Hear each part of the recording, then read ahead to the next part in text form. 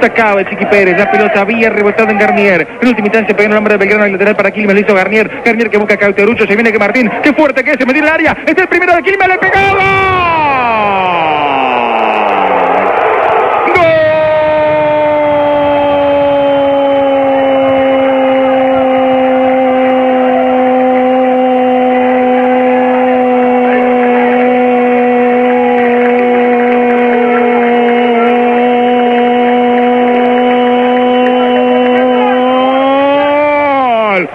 Quilmes, Martín Cauterucho, una vivada de Garnier que sacó rápido el lateral y ahí estaba el uruguayo, enmarañado, potente y también veloz para pelear contra todo, para meterse en el área, para pegarle con la parte externa del pie derecho ante la salida de Olave que en esta no pudo hacer nada ante el delantero uruguayo. Y en 17 minutos del segundo tiempo hace estallar el centenario. Después de varias fechas desde la segunda que no convertía y por eso su endemoniado grito ante la gente para poner al cervecero en ventaja lo hizo. El de la camiseta número 7 a los 17 el oriundo de Montevideo Quilmes 1 Belgrano 0 Martín Cauterucho el nombre del gol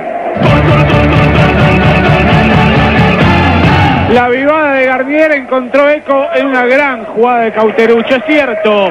Por momentos trabada, por momentos disputada, una topadora el uruguayo, trabó, luchó, se llevó por delante los defensores cordobeses y cuando quedó cara a cara limpia esta vez con Olave, nada de la masita como en aquella otra oportunidad. Esta vez zapatazo fuerte de arriba para romper el arco gana Quilmes y es merecido. Cuarto gol de Cartigurucho en el campeonato, noveno en primera división. En la producción periodística ya se viene Ascenso País, ya se vienen Zapón y Díaz para un partidazo como el que van a sostener Independiente Rivadavia y Gimnasia. El pelotazo largo de Quiroga va a salir Trípodi, rechazaba primero Carly, el rebote le queda a Farrell, le pegó como viene, golazo.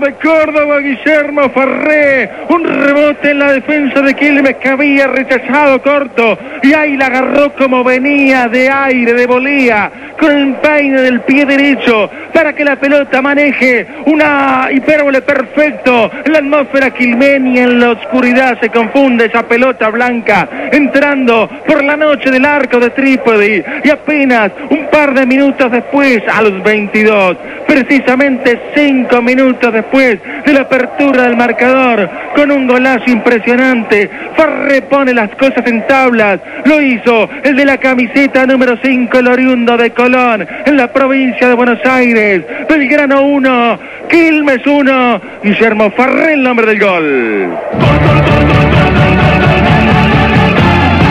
el rechazo fue medio corto. Lo que nadie se imaginaba es que Farré de primera iba a sacar tremendo zapatazo de cayó a las espaldas de un trípode que no lo podía creer.